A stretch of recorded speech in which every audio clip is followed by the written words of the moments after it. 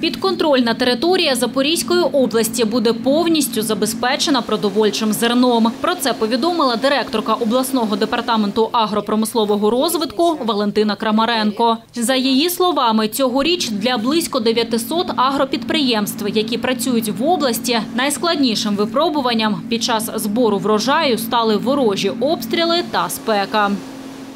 Під урожай 2024 року аграрії посіяли озимих культур на площі 116 тисяч гектарів, у тому числі пшениця 106 тисяч гектар. Крім озимих зернових, посіяно ріпак на площі майже 32 тисячі гектар. Сівба ярових культур проводилась на підконтрольних територіях Запорізького району та частинах Пологівського та Васильівського районів загальною площею 150 тисяч гектар. Валентина Крамаренко каже, цьогоріч у порівнянні з минулим роком посівна площа сільськогосподарських культур збільшилась на 40 тисяч гектарів. У нас е, нестабільна зона бойових дій. Тобто, якщо дозволяють умови, дозволяють умови, то наші аграрії роблять усе можливе для того, щоб висіювати е, зерно, для того, щоб зібрати врожай максимально.